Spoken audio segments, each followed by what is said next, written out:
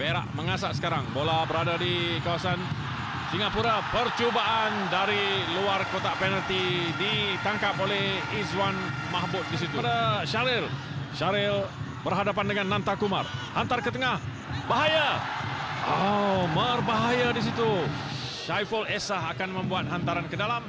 Pasti ke bahagian tiang kedua ataupun far post. Oh, melencong ke dalam. Oh,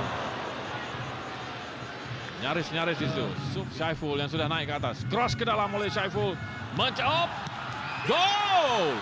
Satu gol sekali lagi oleh Syaril Ishak. Satu cross daripada kiri oleh Syaiful Esa mencari Sufian yang membuat setting cantik sekali untuk Syaril Ishak. Baik, hantaran Popovic kepada Kubala. Kubala mencuba daripada jauh.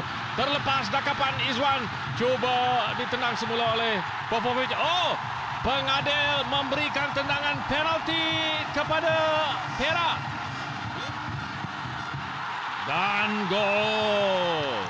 Berjaya disempurnakan oleh Kubala tendangan ke sebelah kanan kencang walaupun Izwan Mahmud berjaya mengagak bola Syahdan Sulaiman menolak sini kepada Syaiful Esa yang telah naik.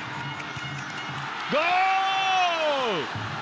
Syahril Ishak sekali lagi menerima hantaran daripada Syaiful Esa daripada sebelah kiri bersorangan di depan pintu gol. Tandukan tidak berjaya disekat oleh Nasril Nordin.